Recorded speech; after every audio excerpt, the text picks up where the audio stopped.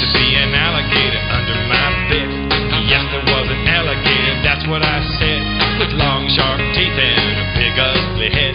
There used to be an alligator under my bed.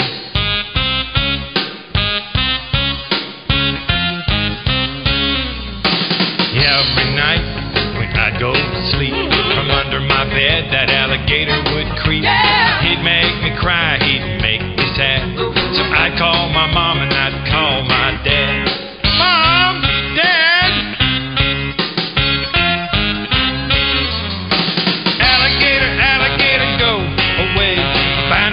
place where you can play. Alligator,